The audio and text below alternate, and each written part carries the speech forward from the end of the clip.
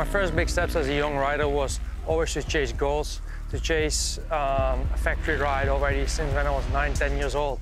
Uh, when I went to, to visit the GP, my dream was to be, become a factory rider and to be in that big tent. And I, I believe besides the talent, you need to have a really, really good work ethic to put in the hours, put in the time, take all the sacrifices, what comes, uh, comes with it to, to make it happen. My first memory of Jeffrey is actually a little bit of a funny experience. I was at the Dutch championship race and uh, I was watching the 80cc class. And I saw a guy coming by and I thought he had a bike problem. I thought his throttle got stuck. I said, oh, that kid was so lucky because he made it through the corner and he disappeared in the forest, you know? And one lap later, the same kid came through again and I thought like, he still has the same problem. But it turned out to be Jeffrey Herlings, and on that 80cc, he just had it wide open all around the track.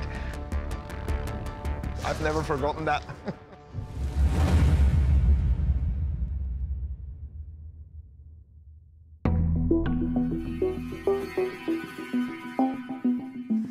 What makes uh, a guy talented as a, as a motocross rider, I believe, um, it's, it's a combination of many different things. First of all, you need to have the, the technique to be, to be a great rider, because without the technique and the talent, you, you will not get there.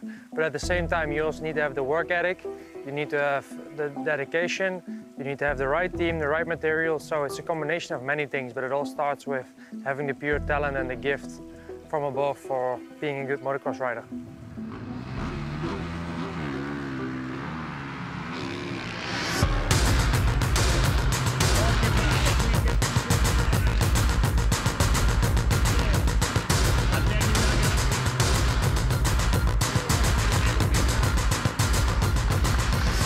Is definitely not my favorite of tracks. It's so much up and down and it's super slick on top, left all the small stones. We could have the option between an MT32 tire or a scoop tire.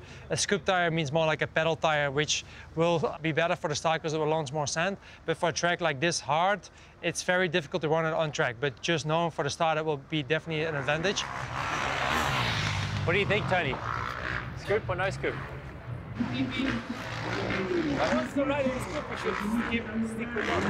Yeah, I, I, I don't think he wants to. I thought it was more wet when I said it yesterday. Yeah. And bullet. Yeah, we're good. You tell me, mate. No, we Track have is an pretty uh, sketchy already. It's, it's already looks So quite- many square bumps. and loose though, loose and square. Yeah, but the scoop was too much. Yeah, no worries. Wow, wow. Yeah. I know it's better for the start, but yeah, after Yeah, the dude, stones, it's fucking hell. You need to be top five on the start. The rest is fine. yeah. Okay, we've got an already an idea for. I've been riding my dirt bikes for a long, long time by now, but I think already since a very young age, around seven, eight, nine, ten years old, you could see I was pretty okay on a motorcycle, let's say, and uh, pretty gifted. Yeah, definitely we could never have dreamed of, of what I've ac- accomplished right now, but uh, already back then you could see I could do something with a motorcycle pretty okay.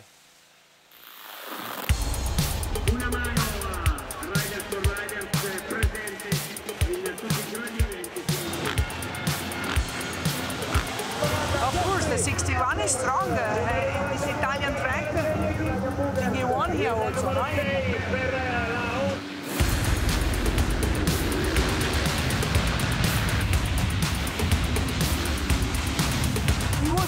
The and there. But the guys around him were already in front.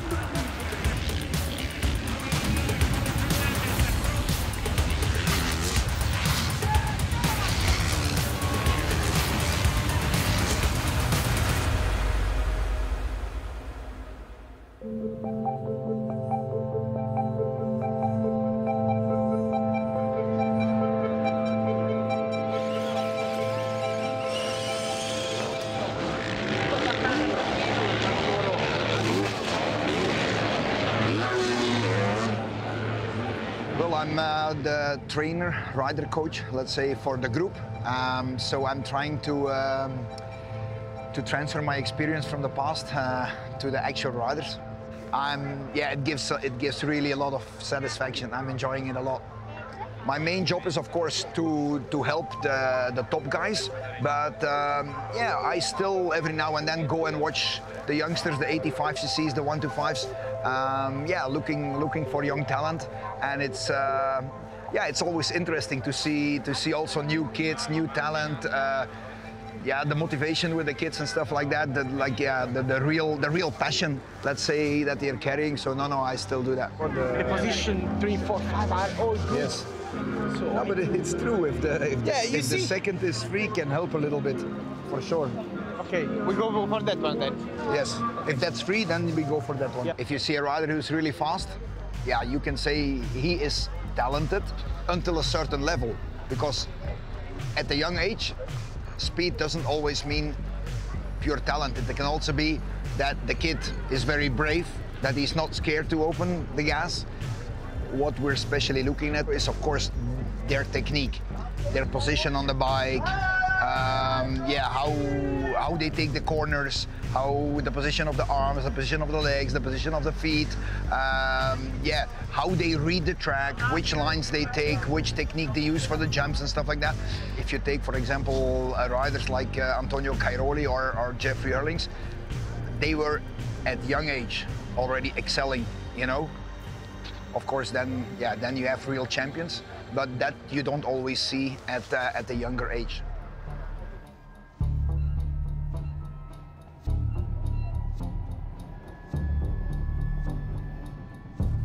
I'm not sure we're going to get time, but yeah, I'm still trying to. Running late? No, we're good. So we still do a start or? I, I want it. Yeah, if he comes now, we got 15 minutes.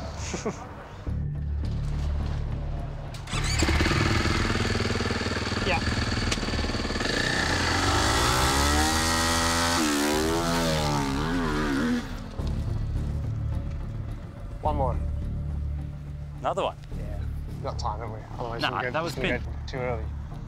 I just want to go through the motions. Got to warm them up. I've got, got 'em on the cycle and everything. Shittiest thing you could find. Yeah. but honestly, the drive off the off the grid was good.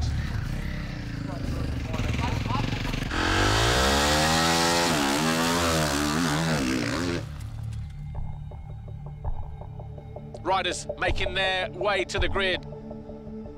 And the bullet, Jeffrey Herlings, up and down in the qualifying races this year, up and down during the season. Still trying to race himself into full fitness and confidence.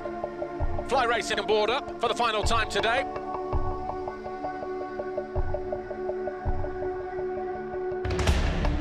Gate drops here, except for uh, one of the beaters who gets parked on the line. Might have been Watson. And it's Prado. Febvre goes down in turn one. And he's upside down. Herlings in there as well.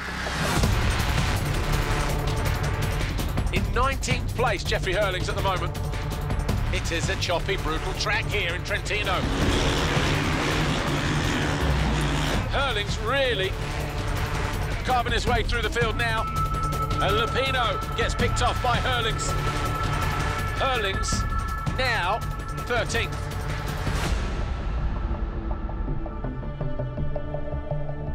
I didn't know how many laps were left, so I was still, I was still, I was still getting excited. I was like, oh, there's enough time. I'm like, but then I looked at the clock. I went two laps. I went, not enough time. How's it feeling? Felt better. Just, just hard to get like the, just just from my own fault. Like I couldn't make the lap good. Always had like two or three good sectors, and then you know I had someone in front, or burn broke, or I messed up myself. Like couldn't get the. But yeah, The one and only thing that I have to say from my side Yeah. is just try and open it up as much as possible.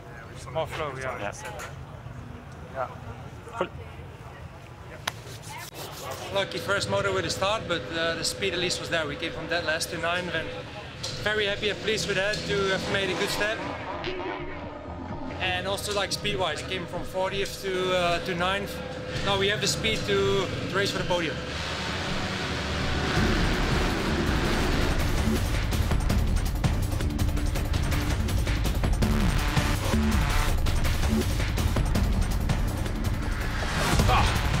Wicked kick there into the turn. Two of Van Doninck. left. Herlings up the inside of Guillaume. Fifth place. He's got Ruben Fernandez right there ahead of him for Team HRC. Just starting to look a little bit more like his old self, slowly racing himself into full fitness and maybe full confidence mode. Watch this here, inside left, middle rut, gets on the gas early. The first three riders on the same part of the racetrack for the first time this race. Focus on this battle for the lead as Herlings goes through into second. Though, fighting back immediately. He's a little bit out of shape, and Herlings takes over the lead. He wins here. The second race in Italy, it's his 189th race win.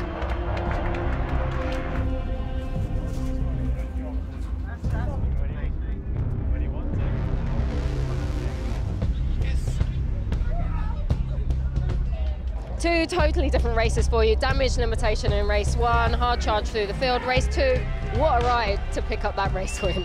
Yeah, definitely. First moto actually had a really good start and uh, came in one of the front guys, and then uh, I think Romain front wheel washed, and I ran into him, and uh, yeah, I was dead last. So yeah, second moto, the start was average around uh, 8th, 10 or something like 8 or 10th, but then I was like over, I was like, let's press beast mode because it's not working like this to ride always defense. So I was like, I have to go back to the old Jeffrey Former moto, and then after that we'll uh, see again, and that's what I did. And um, yeah, I showed what I was still capable of. So. Uh, Unfortunately, to the first one, lost some points for the weekend, but uh, looking forward to Portugal in two weeks' time.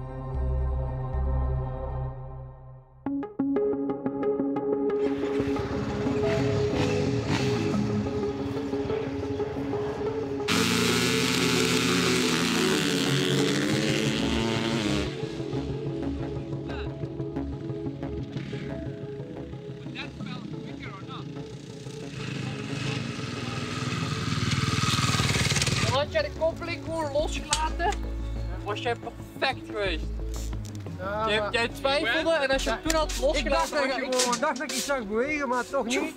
En toen ging ik gewoon linksaf. Hop. Okay, after the start, we separate and then. Uh, I don't think you should call it this start. This start was not really. that's why. It, that's why it was a tryout.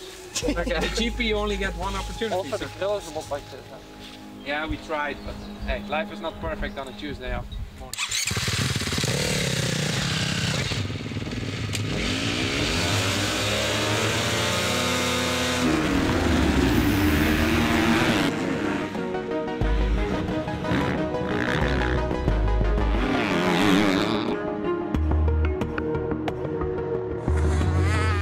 Obviously, I worked with Jeffrey for a long time, who, who is a very, very skilled rider.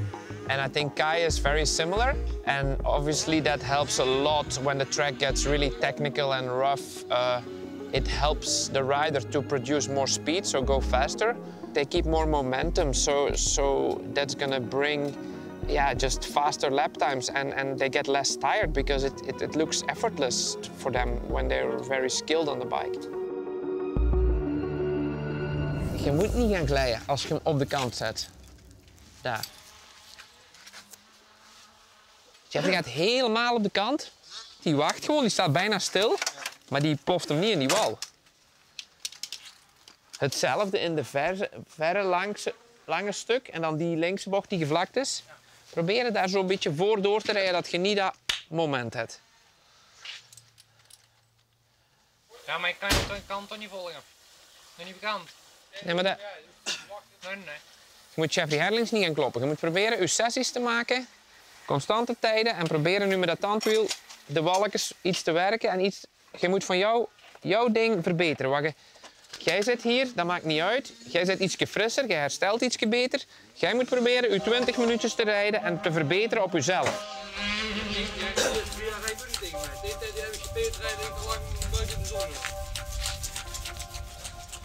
To be really talented at motocross, I first of all think you need uh, a lot of skill on the bike, uh, a lot of bike time, and um, mental strength is also a big thing in motocross. Um, yeah, you with 30 guys next to each other on the gate, so uh, yeah, you have to make sure you're the strongest, and uh, also mentally that's a tough thing. But uh, yeah, you also have to be prepared mentally. You look at Jeffrey, that's fine. You learn from Jeffrey. But the same on Sunday. Focus on your deal. Read, read what's going on, but be content with it if they are faster. De eerste vijf ronden niet te gek. Maak die wallen een beetje dat je een fijne motor kunt hebben. En de laatste twee ronden blazen maar er alles weg.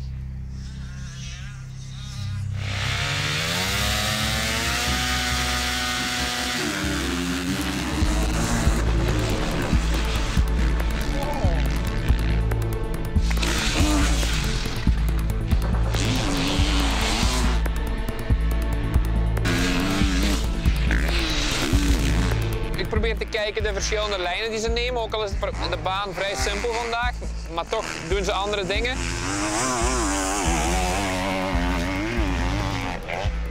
Motocross komt ook veel van hoe erg je iets wilt, zeg maar. En, uh, ja.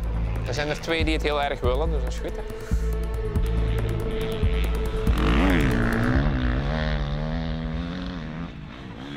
Yeah, for sure. Jeffrey always has been a superhero for me. Um, he's been the most dominating GP rider at the moment. Really nice to train with him and get some tips from him. And yeah, for sure, I always learn from him and uh, try to remember what he's saying. Even physical training, like I'm doing now with Ruben, uh, is quite the same like Jeffrey used to do. So um, yeah, it's paying off so far, and uh, let's hope we can continue this.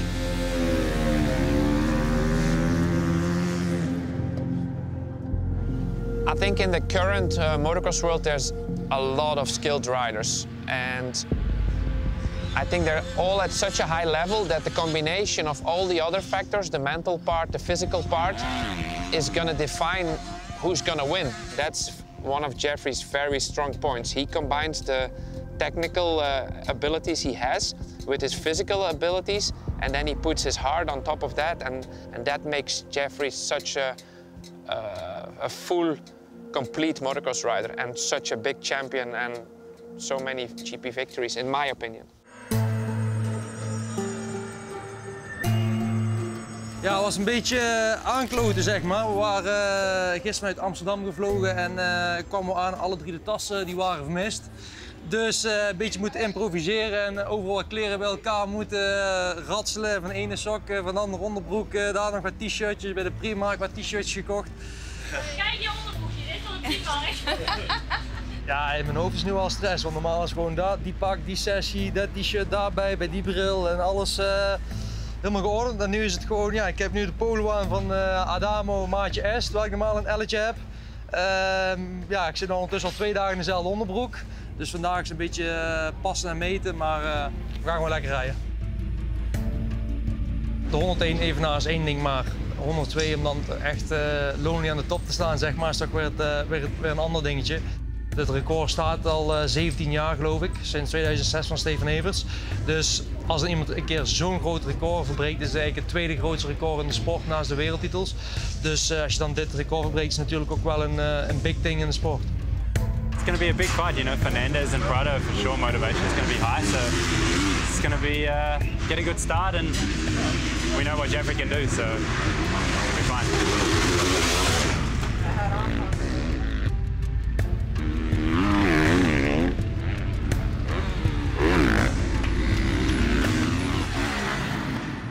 Sasha's bike when the track's like this, I don't know if it's even worth testing at one point like line three, but a little bit more sag. Yeah. So we keep like that same balance, but the bike's just a little bit lower. Lower, yeah. yeah. See him mid-corner always struggling. Know, it's just a thought. Yeah. Maybe it's worth trying. You know, I think the more sag thing is still uh, a thing we can try. Yeah. One. That's the track. Ja, dat is goed. Ja. Uh, we zitten nu in Spanje. Het is echt uh, de home turf van mijn grootste concurrent momenteel, Jorge Prado. Uh, hij rijdt andere jaar hier ook altijd zeer sterk. Heeft het volledige publiek achter zich, achter zich staan. Ik denk toch wel dat het moeilijk gaat worden om hier te winnen. Maar ik zeg nooit nooit. In 2021 heb ik hier geraced ook gewonnen. Dus ik denk wel dat erin zit. Maar alles moet wel kloppen. En ja, die 102 hoop ik toch wel zo snel mogelijk te halen.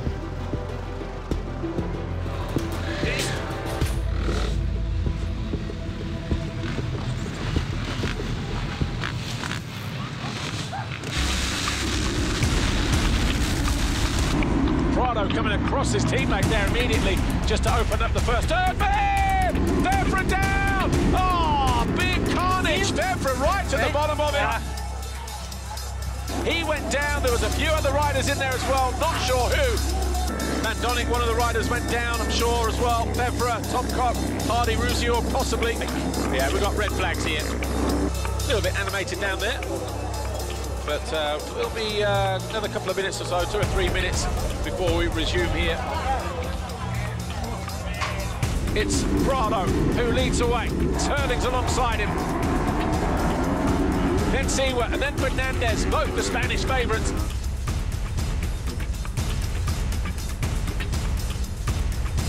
Oh, he goes down over the bars, throws the front end down.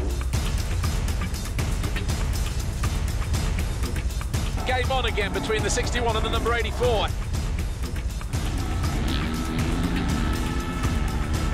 Yeah, I'm into the lion's den, they would say. I mean, yeah, when, when I was catching up, uh, a lot of people were screaming, but I don't think they were really cheering for me. So, uh, yeah, I, I, try to uh, make uh, a few thousands of Spanish fans not that super proud tomorrow because I really want to win here.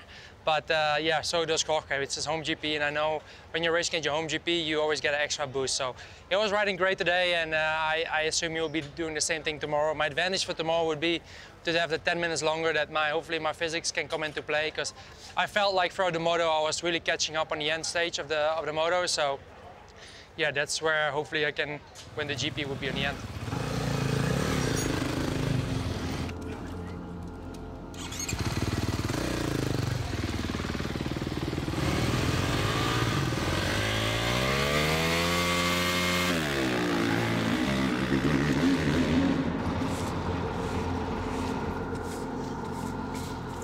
Not so bad, dude. Yeah, feels like What was the RPM that time? Huh? What was the RPM?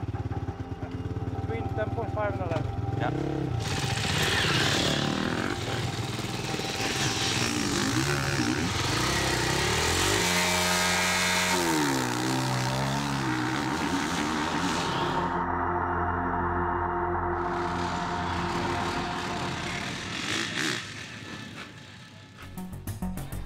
Slightly reduced number of riders then after what happened in the qualifying race yesterday. Who will it be that grabs that all-important Fox hole shot? Jorge Prado has six to his name at the moment. Who will it be that grabs it here in MXGP Race 1?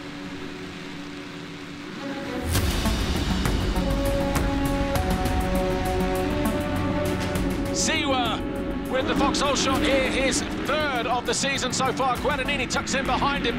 Herlings there behind him in fourth place.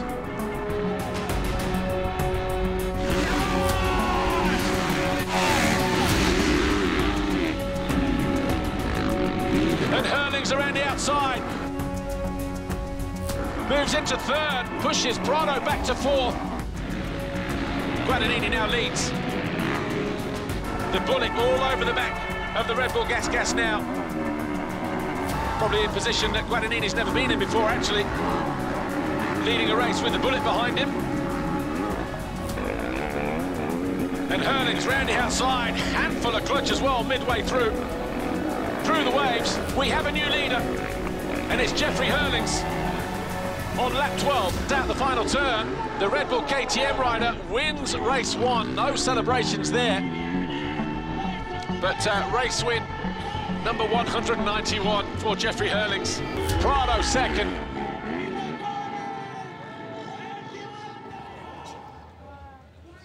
Um, yeah, after the moto, I try to get my clothing off as quickly as possible, and, and with, hot with the hot temperatures, I try to cool my body down a bit, and then uh, yeah, try to do a little spin for the legs, and uh, yeah, to get them get them fresh for second moto. I knew my first motor is always my weak point. You know, I really feel always like I need to warm up a bit, and normally second motor I'm always a bit, bit better and a bit stronger. But uh, today we uh, got off to a good start around fifth. Uh, pretty quick into third, and I got overtaken, so I sent back to fourth, and then was really looking for some good lines. Managed to pass uh, Prado for, for, for third, then passed Seewer for second, and obviously uh, passed uh, Guadagnini for the, for the lead, and then I managed to, to check out basically and, and win the first moto. So it's the first time this year I won a first moto, so uh, yeah, it's good to start off the, the day like this.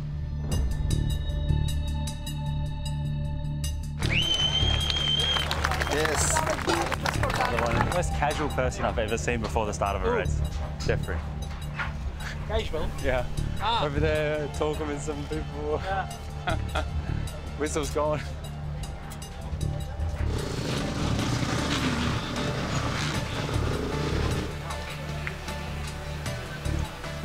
Let's see who gets the whole shot here. Well, the fly race racing 15 second board about to be turned to five, and as we say that, the heads go down, the revs go up. All eyes on this run down the long start straight into turn one. A good jump for Guadagnini, 101. Seewer, a great atmosphere here as Fernandez leads in front of the main grandstand. Seewer second, Guadagnini third. Herlings there, just coming into view in fourth place. Being Herlings just really on the hunt here. Yeah, really on the hunt.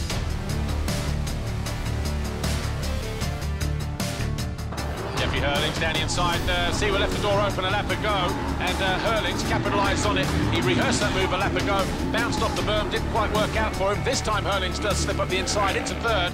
All of a sudden, Seewer now down in fourth place. Jeffrey Herlings this time does get the better of uh, Mattia Guadagnini, moves into second place on lap nine. Is he going to win GP 102 with a double race win in Spain? As he goes around the outside, he takes over the lead from Fernandez. It's a drag race to the next jump. And Herlings does go through. Is that beast mode? beast mode activated, I think he called it in Portugal. Beast mode, yeah. And he wins the Spanish Grand Prix, and history has been made here at Into Xanadu Arroyomolinos. Jeffrey Herlings tops the all-time win list, 102 Grand Prix victories for the Bullet. Jeffrey Herlings on Red Bull KTM.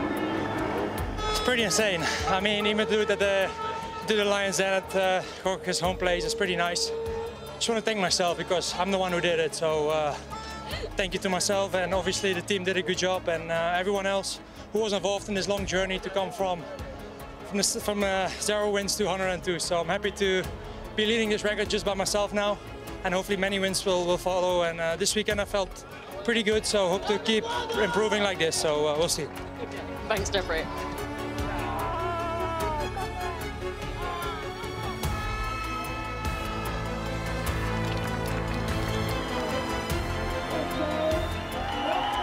I mean, yeah, it will take a while before this record gets broken again. I mean, 102 GP wins. I, if I just think about like count them all up, it's so many. So, um, yeah, that's uh, a lot of a lot of race wins. But I'm super happy to accomplish this goal. I already had the most moto wins, and now to also have the, the most GP wins. It's pretty amazing.